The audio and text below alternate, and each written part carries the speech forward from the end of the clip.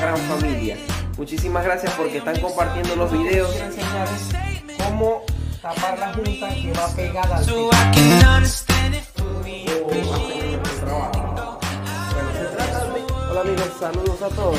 Les quiero mostrar cómo se hacen este tipo de cortes de baldosa